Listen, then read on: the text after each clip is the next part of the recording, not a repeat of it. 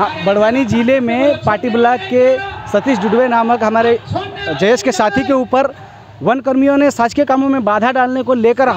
बाधा डालने का हवाला देकर एफआईआर दर्ज करवाई है, जिसको लेकर आज मेन मार्ग से होते हुए पार्टी में थाना पर धरना प्रदर्शन अनिश्चितकालीन धरना प्रदर्शन किया जा रहा है कि वन कर्मी के ऊपर भी शासकीय कामों में भारत सरकार की नीति में दखल अंदाजित करने को लेकर वन कर्मी के ऊपर मुकदमा एट्रोसिटी एक्ट के तहत होना चाहिए, जिसको लेकर हम यहाँ पर आज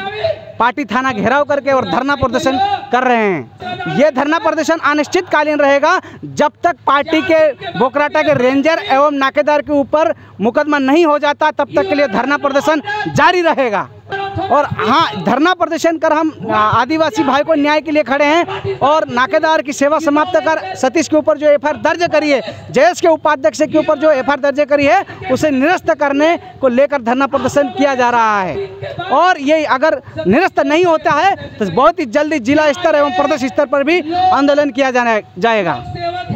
एमपी की नब्स एमपी का हाल। मध्य प्रदेश की हर खबर एमपी न्यूज़ टीवी के साथ। लगातार खबरों के लिए सब्सक्राइब करें हमारा YouTube channel MP news TV latest updates के लिए बेल आइकन दबाना जरा भी न भूलें।